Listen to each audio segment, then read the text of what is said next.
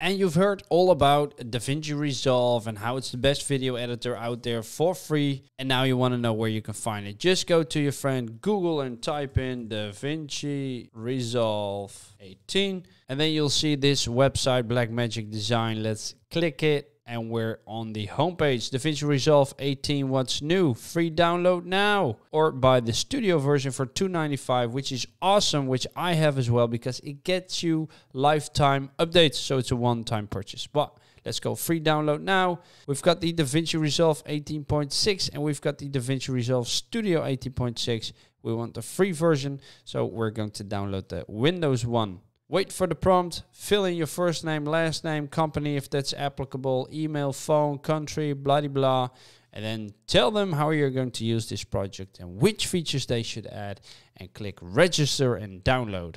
If your download does not automatically start shortly, please use the following link, but if all goes well, you'll see a pop up and then just save it in the bin you want to save it in and let it do its thing and download for you. It's a fairly big file, it's 2 gigabytes. So depending on your internet speed, it will take a while for you to download.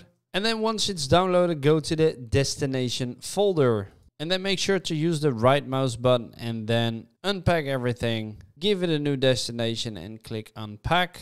And if you've done that, just open up the application, follow all the instructions to install it. And then once it's done, you can start it up and this is the screen that you will see. It will load everything and take you to the projects, which should be empty for you, but I've made many, many videos and that's why mine is here already. And then once you want to start one, double click on untitled project and then save it with a desired name or just click new project and a prompt will show up in which you can create your new project and give it a name. So let's call this first testing project. Let's click create and boom, there you have it. We're in DaVinci Resolve in the cut page I preferably always use the edit page and here you can create bins like a video bin for instance and then if you open that and you say hey I want to import some video files just click the right mouse button go to import media and then that will allow you to import some media so for instance this one it will ask me to change the project frame rate. I can change it or don't change it. If you change it, everything will be changed. You can't change it anymore.